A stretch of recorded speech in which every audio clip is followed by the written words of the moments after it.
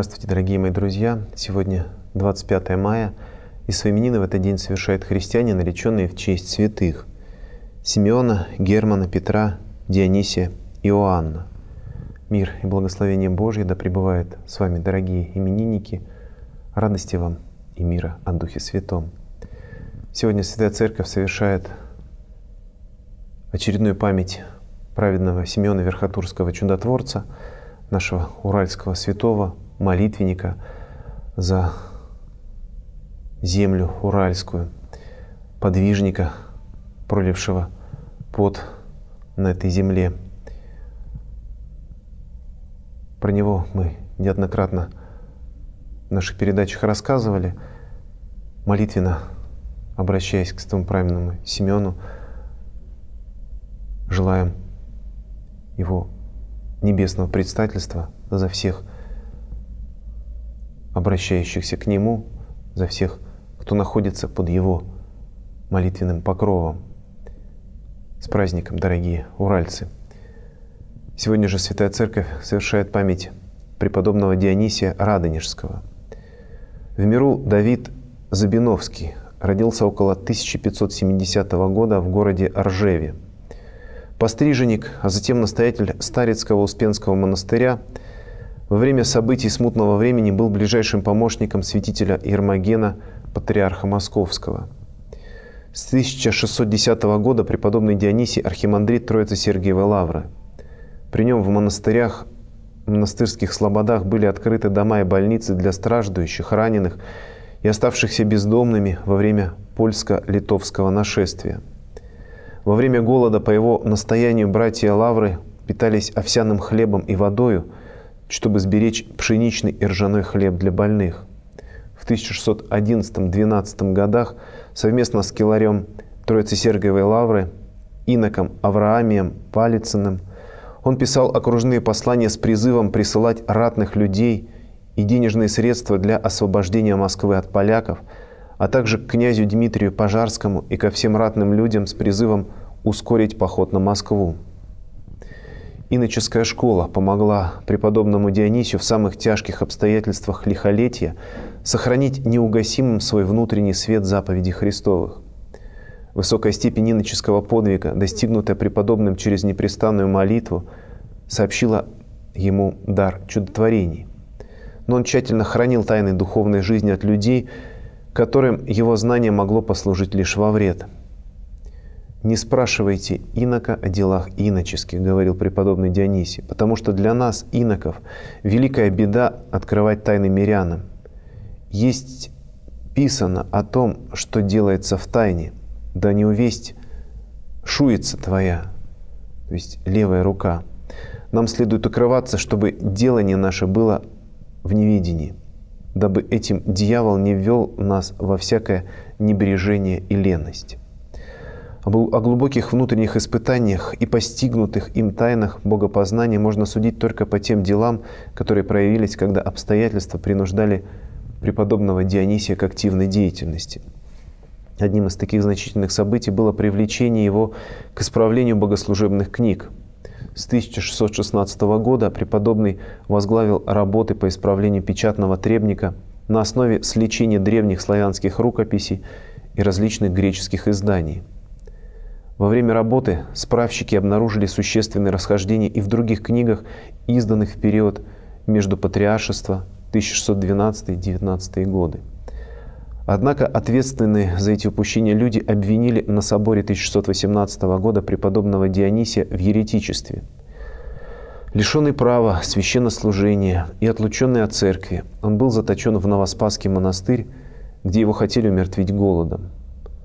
Вмешательство в 1619 году иерусалимского патриарха Феофана IV и вернувшегося из польского плена патриарха Филарета прекратило его заточение, и он был оправдан – Преподобный Дионисий известен строгим соблюдением монастырского устава, личным участием вместе с братьями в монастырских работах и устроением обители после осады Лавры.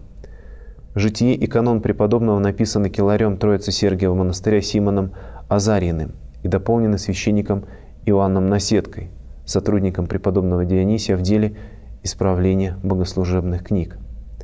Приставился преподобный Дионисий 25 мая 1633 года и погребен в Троице Сергиевой лавре.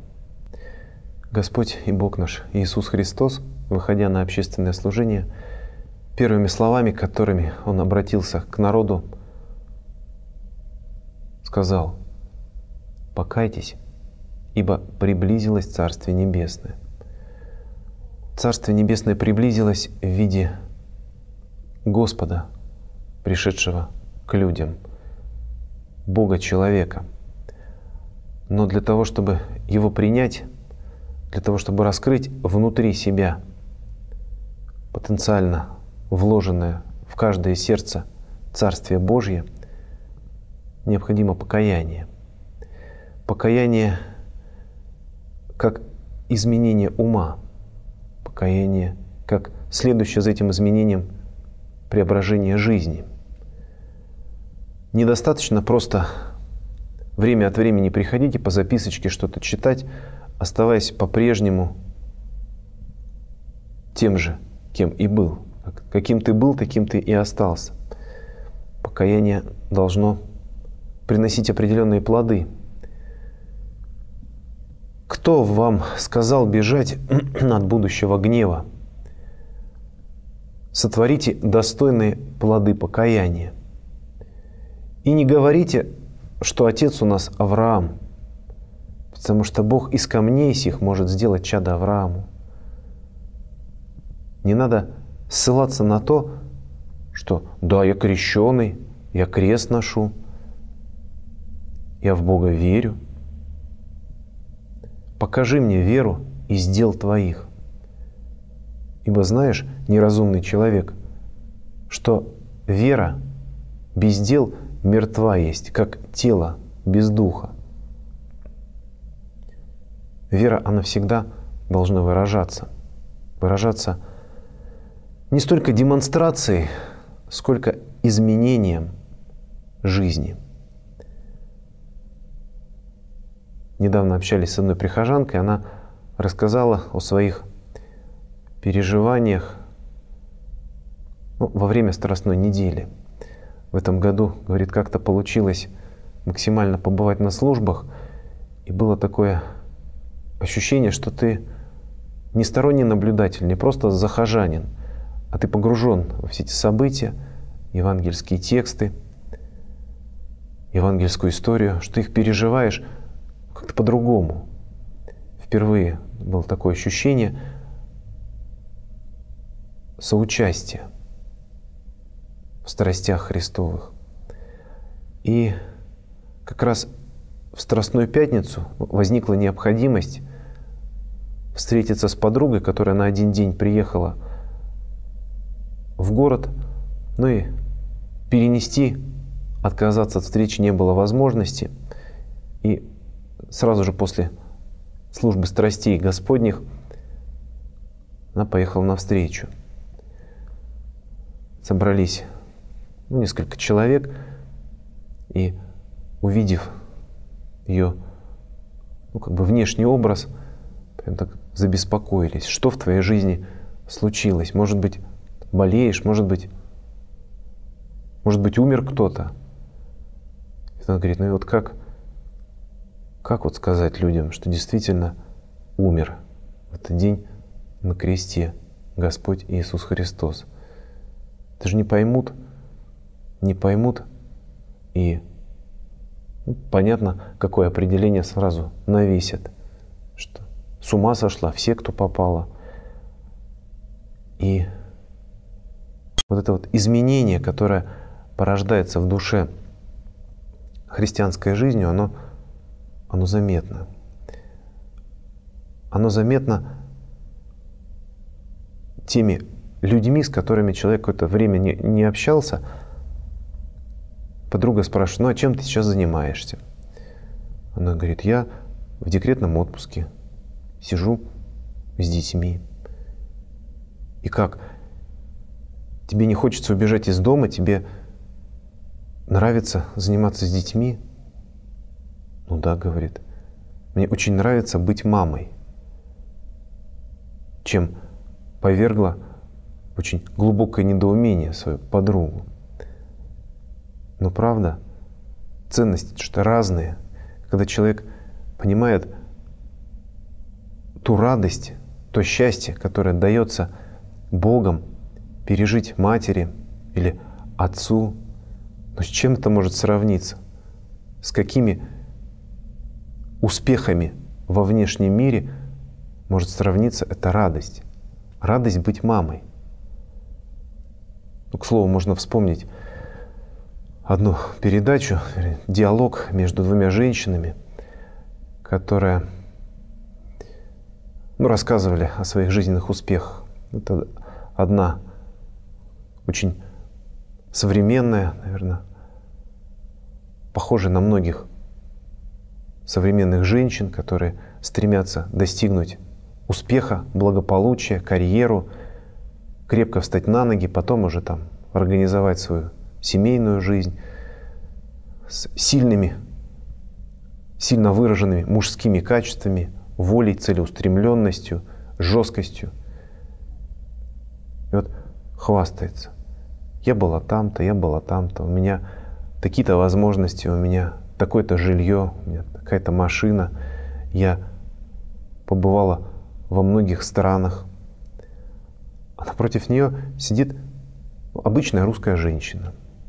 Ну, вернее, как это, может быть, было обычно для 200-летней давности. Сейчас русская женщина, она по-другому, к сожалению, выглядит. Просто многодетная мама. Вот она задает всего лишь один вопрос. А вы знаете, как у ребенка пахнет за ушком, когда его кормишь грудью? И немая сцена. Ну, потому что ответить на этот вопрос, возразить этому аргументу абсолютно невозможно ничем. Ну, потому что эта ценность, она превышает все жизненные внешние успехи. Это радость, которую переживает сердце матери. Часто люди спрашивают, что делать, чтобы жизнь стала легче, лучше, светлее. Ну, что делать? В церковь надо ходить. Надо жить жизнью внутренней. Надо настроить свою жизнь по тому образу, который Господь в этот мир принес. Ведь Он же организовал церковь, и Он в нее вложил все самое необходимое, что нужно для человеческого счастья. И если человек начнет заквашиваться этой доброй закваской, благодатью Божией, которая подается через церковь, не сразу, не в виде таблетки, не в виде нажатия на кнопочку, которую мы часто ожидаем, свечку поставь и будет тебе счастье. Нет. Это постепенный процесс, потому что слишком много яда, греха накоплено в наших душах. Его не сразу можно выдавить, вычистить. Но постепенно душа человека меняется. Меняется очевидным образом. Так что прежние знакомые, встретив христианина, через год-два его церковной жизни, могут его не узнать. Не узнать не по внешности, а по тем ценностям, которые для человека в жизни стали важны. Не пренебрегайте, дорогие мои, этим великим сокровищем, жизнью в церкви. И помогай нам всем Господь.